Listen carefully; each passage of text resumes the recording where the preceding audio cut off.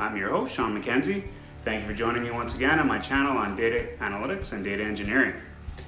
In this episode, we're going to return to our Microsoft Access playlist and we're going to talk about date formats, uh, which is a really kind of big topic in any database platform, uh, and this is also true in Microsoft Access.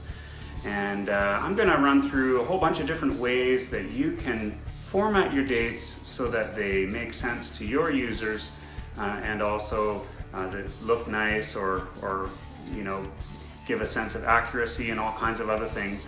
Uh, but also I'm going to explain one big gotcha on an older version of Microsoft Access that if you happen to be using uh, MDB formatted databases that you really need to watch out for because uh, you can have a lot of trouble with uh, queries giving wrong results uh, if you don't uh, make these settings on your computer.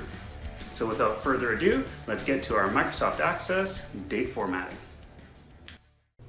Okay, so I got this uh, Microsoft Access uh, database that we've used in previous episodes. It's got some date data in there, so I created a table that just has some some dates in it. So we'll just make a new query, and you can close off of that and just drag your table onto the uh, query, and you'll be able to uh, to use it. And uh, we'll save this one as um, we'll call it date format, um, just because we're going to show a bunch of different date formats in our query here uh, before we move on to showing some date formats in code and then on a form.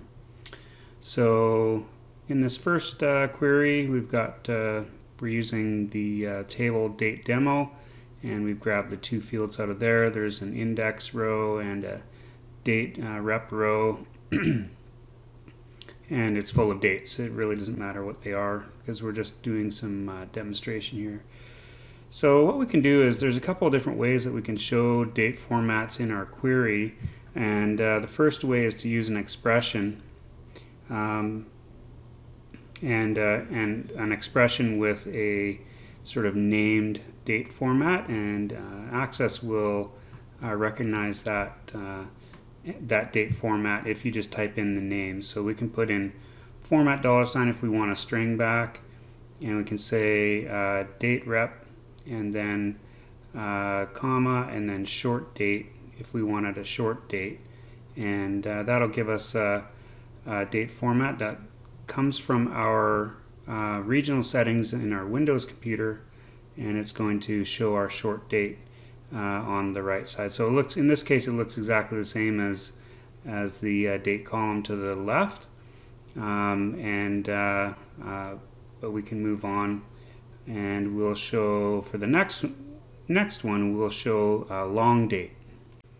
And you can see I can remove the dollar sign in front or after the format statement. And if I run that one we get a very similar result to uh, to what we saw before um, so in our expression that we're putting into our query field you can use either uh, depending on what you'd like to see so uh, moving on to our uh, long format, uh, we can do the same thing. We'll call it date underscore long.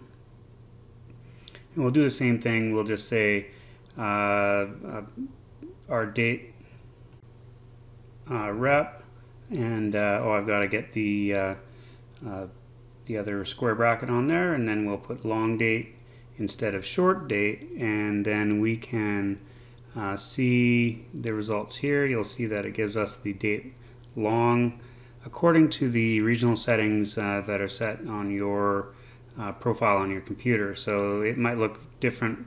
In some cases, you might see uh, that people choose to have the uh, the day name in there, like Monday, Tuesday, Wednesday, um, and that can also be uh, a valid format coming out of your regional settings. But if we wanted to make a date uh, custom format. Uh, we can also do, uh, we call it date custom, and we can go format and then date rep again like we showed uh, just now. And then we could just add in anything we want. Well, I mean, as long as you're using uh, the appropriate characters. And you can add like DD, MM, YYYY, which will give you uh, date dash month in, in numeric and then a year. And that gives you a nice format uh, that's used uh, by um, many different uh, jurisdictions. And uh, we could do a similar thing. We could do a date custom if we wanted to show the the alphanumeric month. We can do that as well. Uh, so we can go ahead and uh, we'll type in our format uh, with uh, date rep once again in the square brackets. And uh, we can also, and then we'll add the DD dash MMM, which will tr trigger the alphanumeric months. And then we can take a look and see what that looks like. And this is a nice date format, um, which is unambiguous although it is in English. Um, it doesn't. Uh, it it definitely, if you are using an English uh, database, uh, then that will be an unambiguous date format that you can use. Um, and then uh, moving on from there, we can play around with our date formats a little bit, and uh, and we'll we'll add some times perhaps. So I'll go back into our custom uh, format there that we just did and I'm going to I'm going to add the uh, the hours and minutes and then I'll add AM PM after that. And that'll give us uh, our, our date format with a time attached to it um, because date fields typically have a date and a time in them um, although they might only be displayed as a date itself. However most of the time you can you can add the uh, the uh, hour and minute um, to the to the time if that's been uh, included in your in your data collection. So we could remove the AM PM and put a an uppercase uh, HH uh, in there, um, and that will um, that's gonna um, give us the uh, 24 hour clock. And in this case, our dates don't have any uh, date I don't have any time in them so maybe what I'll do is I'll go back and I'm gonna maybe add some time.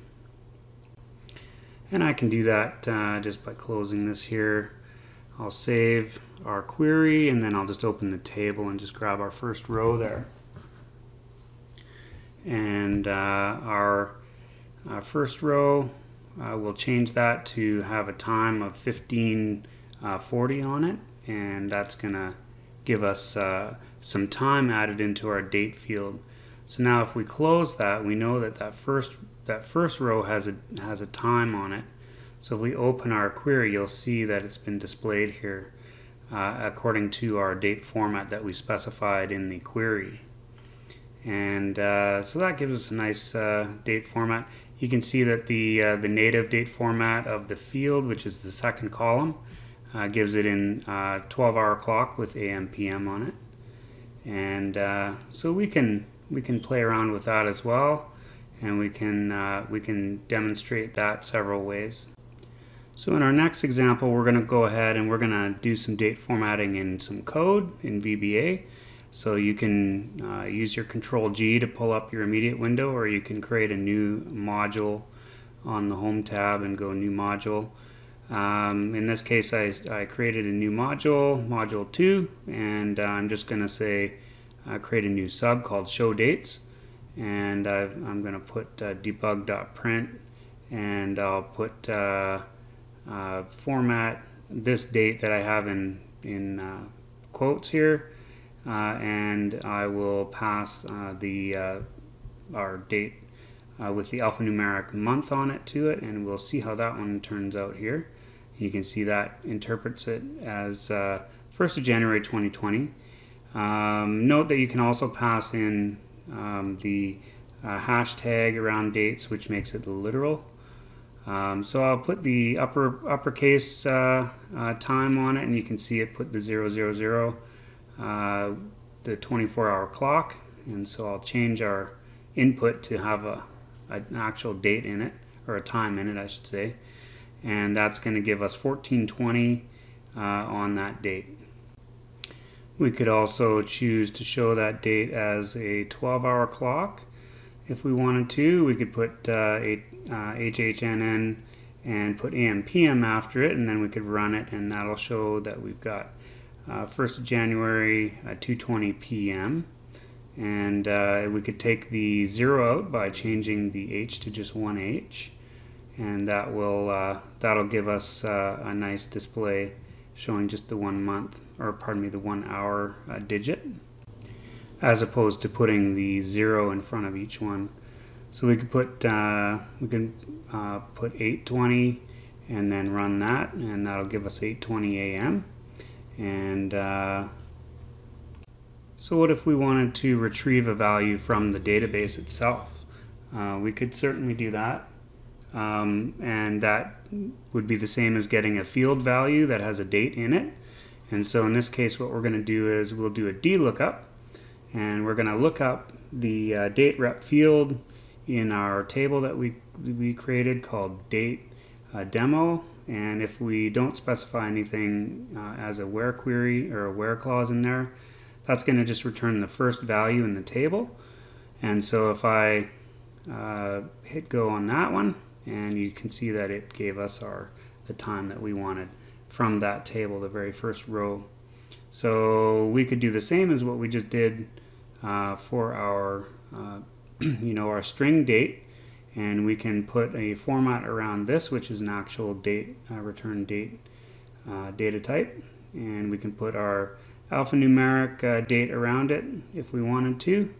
And we can say we can uh, hit go on that and that's going to give us exactly what we wanted uh, for the alphanumeric date uh, and if we wanted to add the hour and minute we can do that as well just like we did before and uh, that is going to um, be the best way that we can we can do date formats in the VBA code.